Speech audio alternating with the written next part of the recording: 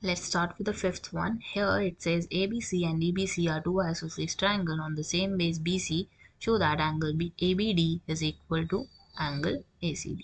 So this is one of the very simple question. सबसे पहले अगर हम नोट करें तो ट्राइंगल ए बी सी में I can see that A B is equal to A C right क्योंकि isosceles triangle तो हमें पता है that opposite angles are equal और वी कैन से कि बेस एंगल्स जो होते हैं हमारे आइसोसिलस ट्राइंगल के they are equal so what I can write is I I am taking the above angle as one and the above angle as two so my angle one is equal to angle two as it is isosceles triangle now in the other side in the other triangle I can say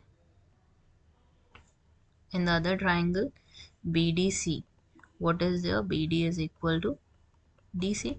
So which two angles are equal? Angle 3 and angle 4 are equal in measure. Kyun? Because it is it is the angle on the isosceles in the on the isosceles triangle. Or what you can write is angles opposite to equal sides are equal. Okay.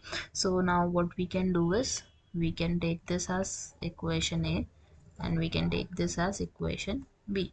Now what you can do after it is add A and B. So angle 1 will be added to angle 3. Left side को left side left side से add करना Angle 2 with angle 4. Right side को right side से. 1 और 3 मिलके क्या बन जाएगा ABD. And angle 2 और angle 4 मिलके क्या बन जाएगा ACD. So yes, what we can see in this case is angle ABD is equivalent to angle ACD.